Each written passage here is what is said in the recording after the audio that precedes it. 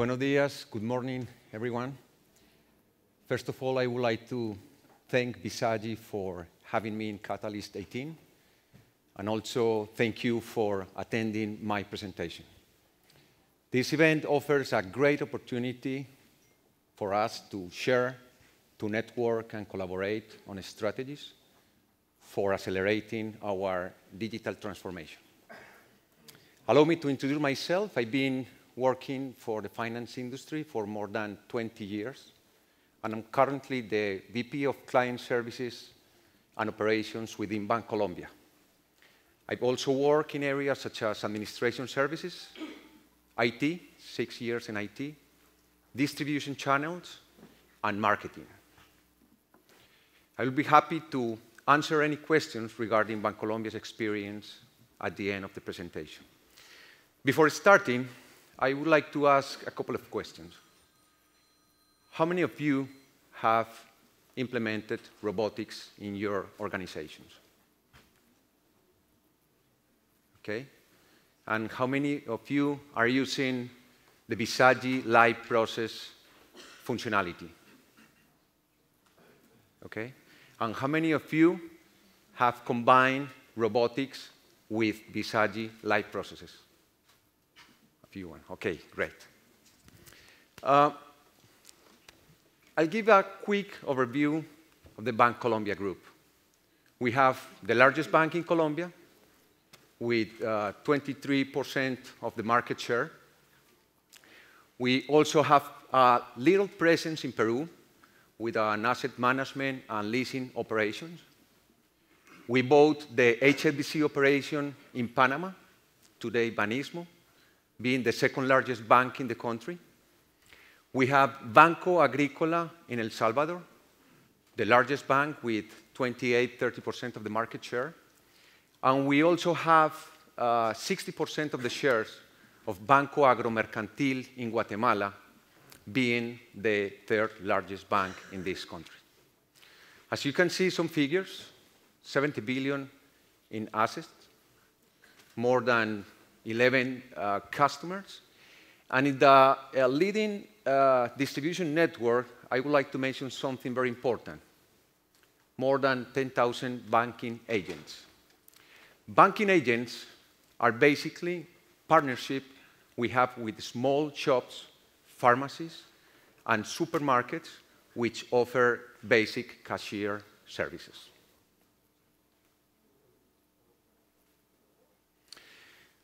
These are some of our milestones and achievements. I'm not going into detail, but we are very proud that last year we were named by RobecoSAM as the fifth most sustainable bank in the world.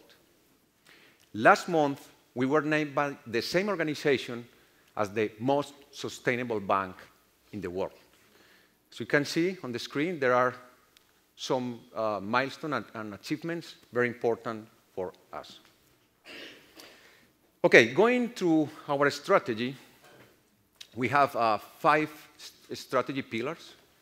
One of these is customer experience, which we believe is key to future growth and sustainability.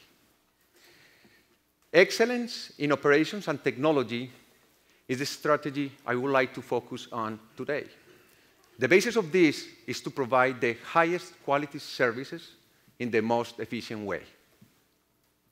And I'm going to explain later how Bizagi is supporting us in our strategy. It's something very important as excellence and in operations and technology. Let's move to our digital transformation journey. We are working on incremental, differential, and radical innovation. I'll start with incremental. Here, we are focused on profitability and efficiency. And we are uh, developing new products and new channels as the banking agents I mentioned before. On the differential innovation, we have been working in uh, increase our performance workforce, and also we are implementing agile philosophies. We are working so heavily on analytics, big data, and of course, automation processes, where Bizagi plays a very important role. And finally, Radical. I'm going to share two ongoing initiatives. The first one is Nequi. This is the logo. Nequi is our virtual bank, where we have roughly half million users. It's 100% virtual bank. And Rotalo, Rotalo is an online marketplace. It works in a similar manner to eBay, but we offer credit for the buyers and visitors. Now we have four capabilities. The first one, live processes. We started in 2015. We have RPA, robotic process automation, and RDA, robotic desktop automation. We have the Center of Excellence. I'm going to mention the scope and the main responsibilities later. And we have ACME. I'm sure that you recognize this word with the annoying bear and the coyote. But for us, but for us, ACME is a new area that reports directly to me and combines, includes analytics, precisely the Center of Excellence, MISI. MISI is our productivity model where the team reports every day the core activities, the administration activities, so we can uh, calculate every day, every month, the productivity of our team, 3,300 employees within the uh, customer service and operations area. And we have the E is excellence, operational excellence. Some of our benefits of the digital transformation, and I would like to mention something very important. Normally, we are focused on cost labor, but there are huge opportunities with the digital transformation. Not only in efficiency, we have reduced a lot the operational risk in a very important way. We have increased and improved the service in terms of compliance, of course, in our branches and different channels. And we have uncovered new incomes. So you might ask how you have gained new incomes. We have increased the written off portfolio by 47% using robotics and using, of course, Bizagi. Our RPA, robotic process automation ratio, is 1 to 14.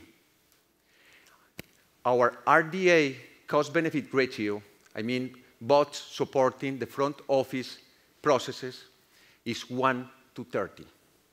So there are huge, again, opportunities to use these kind of capabilities to uh, have uh, benefits without, with, within, sorry, in our organizations. Okay, let's move to the Center of Excellence. I mentioned before that we have created an area where we are uh, implementing a new virtual workforce in which we combine human talent, cognitive, analytics, robotics. Why? First, to support the customer experience strategy, and second, to freeing human talent from repetitive tasks. We have, in our organizations, a lot of manual and repetitive tasks. If we use these capabilities, we will have much more performance. We will have a very important operational risk reduction and other benefits. And we can take the talent to um, use in more important tasks. So going into detail, in our Center of Excellence, we have basically three main activities. The first one, we have a responsibility in evolution. As you can see, there are four areas, and I would like to mention something very important, change management. We have decided to start with a strategy and end with technology. This is not an IT responsibility. IT plays a very important role defining the architecture supporting and maintaining but the strategy should be in areas such as operations. We also have been working in uh, areas such as we used to call bots the implementation we had with RPA, but now we are calling them process assistant.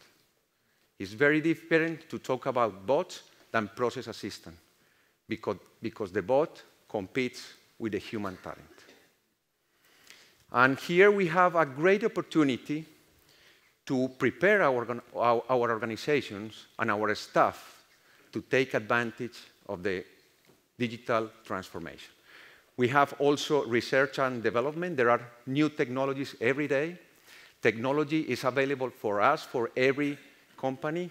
I think the competitive advantage is how to use the technology, how to prepare our organizations, and how to uh, have the, the, the, best use of this.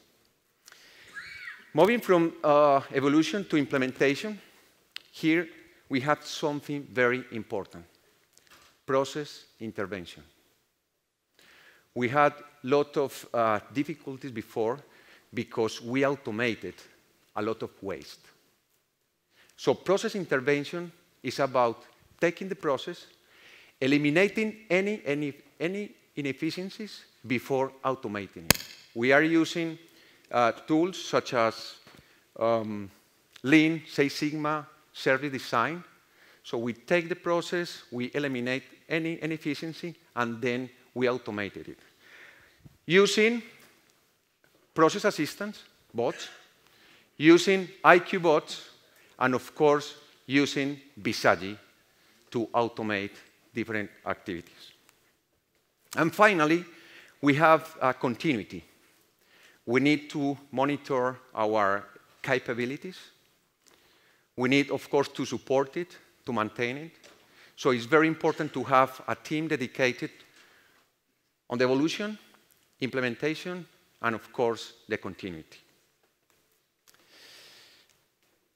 Look at these figures. We use, as I mentioned before, robotic process automation to support back office and automate back office processes. And we also use robotic desktop automation to automate front office processes.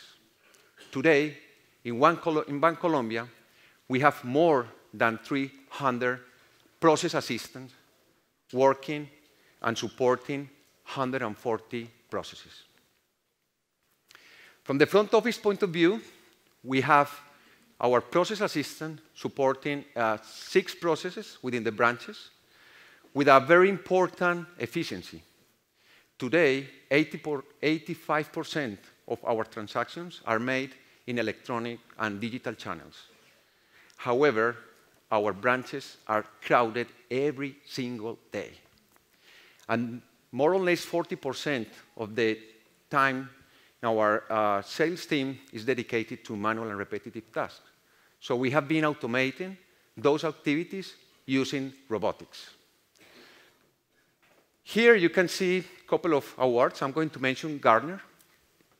We were invited uh, two years ago to uh, participate with 160 uh, companies around the world, um, explaining the projects, products, services we have in digital transformation. We participated with our uh, process assistance strategy.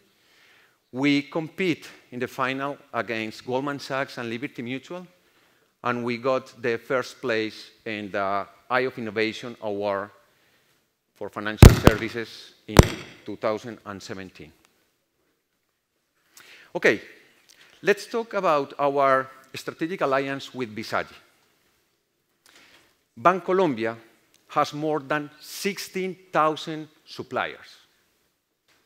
And according to their impact in our business, we decided to have 50 strategic partners. So 50 suppliers to be our strategic partners. And I'm very proud to let you know that Bizagi is one of the 50. And we are interested in developing a long-term relationship based, of course, in trust, transparency, and results. So being part of the 50 strategic partners is a very important issue. And as I said before, we are uh, interested in developing a long-term relationship. So talking about the alliance that started in 2004, at that moment, Bizagi supported us in the mortgage process automation with lot of benefits. Because at that moment, we had a lot of manual and repetitive tasks. We didn't have the opportunity to track the process and the different activities. I forgot to mention something very important. Bancolombia is listed in the New York Stock Exchange since 1995. So in 2008, we decided to have Bizagi supporting us in many Sarbanes-Oxley activities. We also automated a lot of back office processes and activities. And then in 2010, we moved to consumer credit automation, having again a lot of benefits in terms of efficiency, agility, and so on. Uh, up until 2015, our uh, focus automation was based in Colombia. As I mentioned before, we have a presence in Central America, in Panama, El Salvador, and Guatemala. So we decided to go at that moment with Bizagi to automate many processes in those banks. And the results are very important. You may ask, how's the governance? So in Colombia, we have the strategy, the policies within the Center of Excellence, but we have uh, federal implementation. So we have many users implementing, for example, live processes. We don't have uh, a, a, governance de defined to our banks in Central America. We are supporting them with best practices, but of course, there are many opportunities to work on.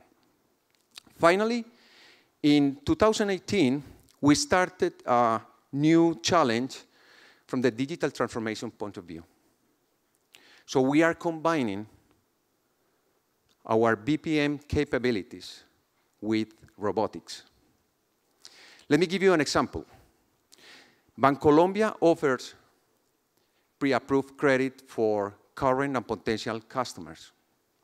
Once the customer accepts the credit offer, Bizagi takes over the process. And then Bizagi uh, normally uh, communicates with one process assistant and the bot, in this case, start the payment into the customer account. So we have a great combination between our BPM and robotics. We, we have more or less 25 process assistants working with Bizagi. As we are going to see uh, later, we are interested in combining uh, with other capabilities, such as RDA, artificial intelligence, analytics, and probably blockchain. John was talking about core processes and non-core processes. We talk about complex processes and simple ones. And we are using Bizagi in, in both of them. So we have core implementation with project management, normally initiative that needs integration interfaces, where the IT participation is very, very important. We are implementing, as I mentioned before, agile philosophies. And sometimes these projects takes between six and 12 months, sometimes 18, sometimes 24, and sometimes much more because of the complexity. While simple, simple processes, here we have a huge opportunity because our, our organizations are full of minor and low level processes. So here, we don't need an IT participation directly. The user has all the empowerment to implement new flows, but we in the Center of Excellence approve before putting on production because of the impact that it can uh, has. And we have implementation within hours and sometimes in a few days.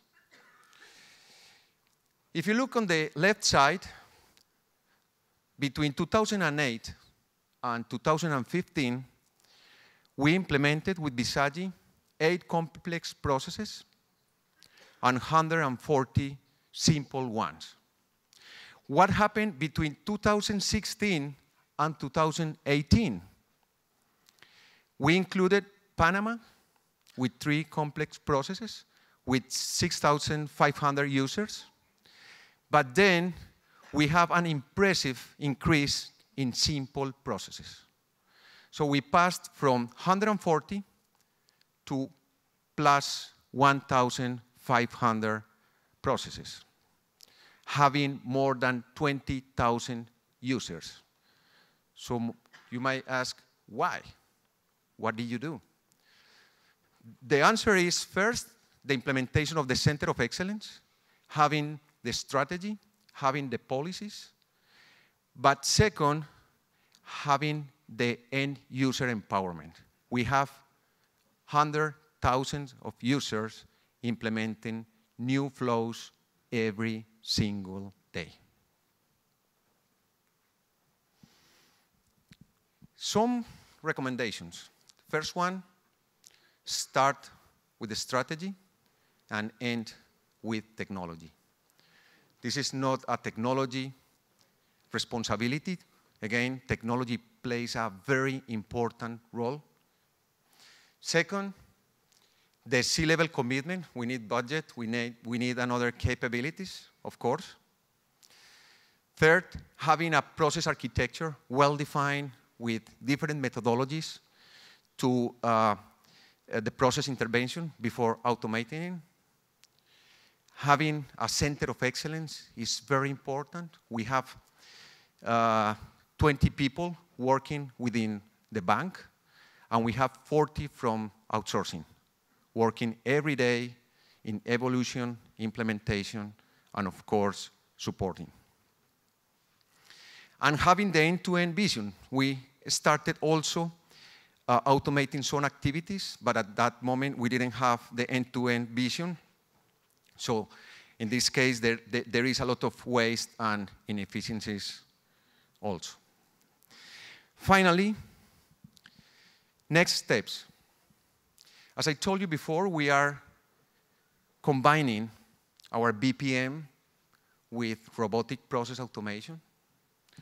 We are piloting a couple of initiatives with blockchains. I think we have a different uh, point of view about blockchains, uh, but there are a lot of opportunities to use this capability in our organizations. And we are working also heavily on analytics from the process mining point of view, how to take advantage of the autom automation, and of course, supporting our strategy from the customer experience point of view and also excellence in operations. So we have five minutes. Again, thank you very much for attending our presentation. And if you have any questions, please proceed. Thank you so much.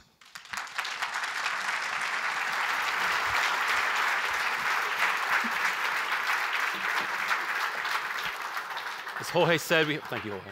We have some time for questions. So uh, I think we've got a roving mic somewhere. A couple of questions here. Should we go here first and then the lady second? Sorry, Tim, just here. Thank you. Okay. Hi, you mentioned um, that you uh, um, have users who implement things on their own, but you provide some governance over them. Can you talk a little bit about what that governance consists of and how you make it work? Okay, great, great question, thank you. Um, the governance is about what kind of processes can be implemented using Bizagi live processes functionality. Uh, because, you know, sometimes users are interested in go ahead. Um, having uh, also uh, security policies. Uh, despite we are not using live process to integrate applications, you know, there are information flowing into the different um, users. So, so mainly is how to use it, what for, and of course avoiding any risks such as security or operational risks. Thank you. Isn't the question here? Thank you. Uh, where all uh, this all stands with risk management strategy of the bank and uh, the challenges you may have faced as you move with the automation process. Uh, you spoke about the best practices uh, that may be different than the, we have in the United States, but going with any digital process, you mentioned back office processes, 140 processes you have done. So my question is specific to the where all uh, risk management strategy uh, this fits into as you do any automation work? Okay. Um, as I mentioned during my presentation, we have more than 3,000 employees within the customer uh, service and operations area. So we have a lot of manual and repetitive tasks. And many of the risks were precisely because of the manual and repetitive tasks. So automating it has uh, reduced a lot the operational risk.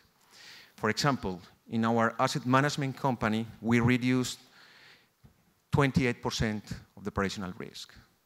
And you know, having operational risks is very expensive for our organizations. So automating manual and repetitive tasks will reduce a lot the risk, right? Thank you. Ah. We know very well that that there are more than one product in the BPM arena. Could you talk us what are the main benefits to work with Bizagi? Very Should good question. I'll take that one. Okay, um, I mentioned that we have decided to have 50 strategic partners. And we have found in Bizagi a lot of knowledge, a lot of support. Uh, we feel that we are a very important customer for Bizagi.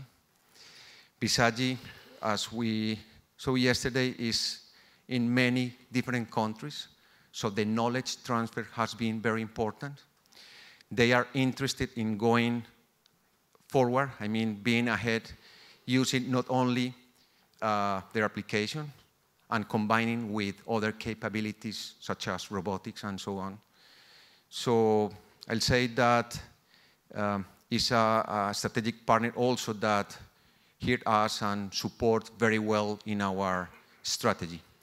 We have one meeting every year where they share um, the best practices, the opportunities we have within the bank. So for us, it's, it's very important.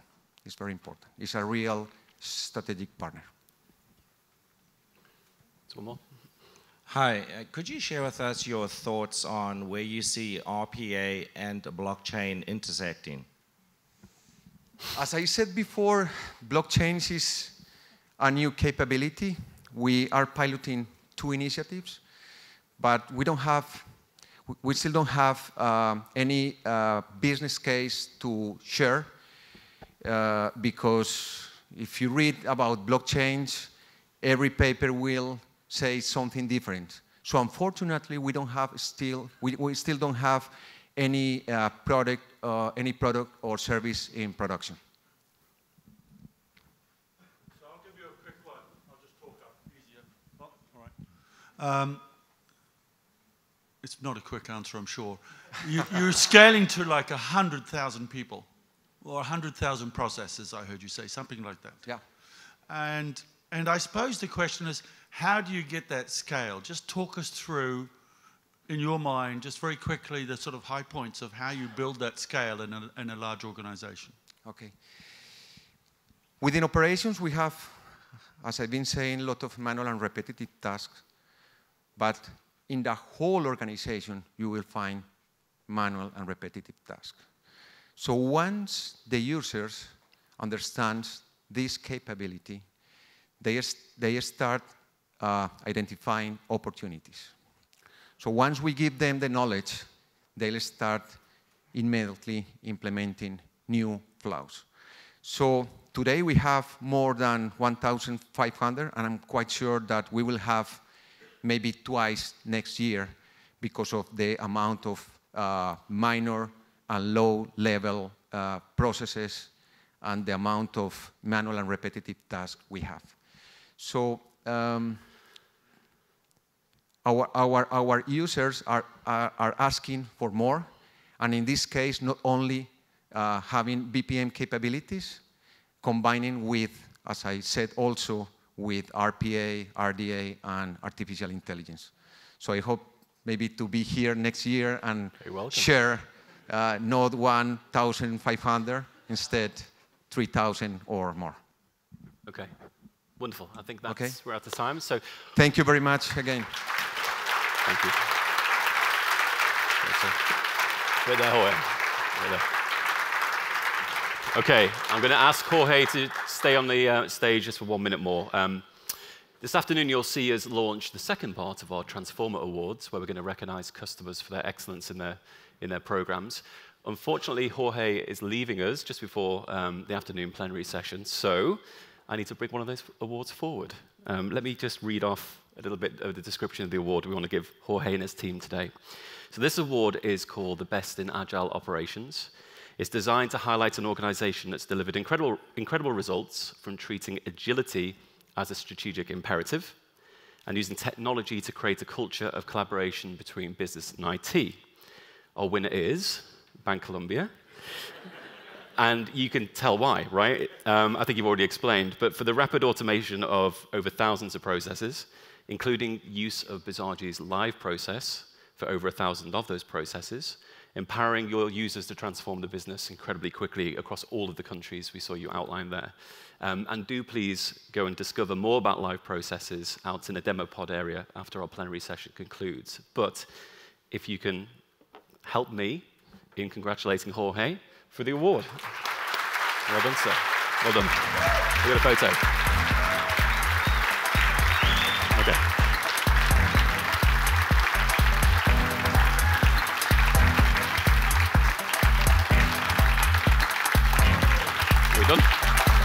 Right.